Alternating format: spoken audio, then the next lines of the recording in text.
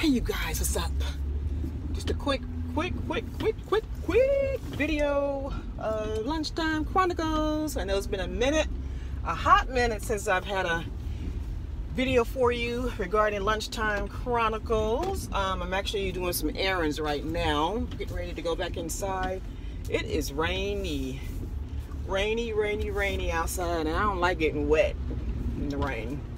Not with a whole lot of clothes on. So anyway, but I don't have anything to eat. I'm not really hungry. And when I get inside, I probably have about six minutes before I have to get back to work.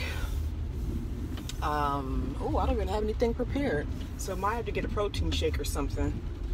But anyway, so I guess is it lunchtime chronicles? Because I'm not showing anything to eat.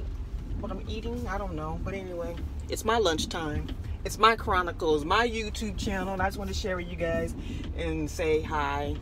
I'm trying to be more consistent. I haven't started soaping yet, but I did get some supplies um, today. I just picked it up from the from the post office, so I'll probably do a um, yeah, I'll do a haul video on that and show you guys what I got, so I can get started again. Nikki, thank you. All right, you guys, enjoy the rest of your day.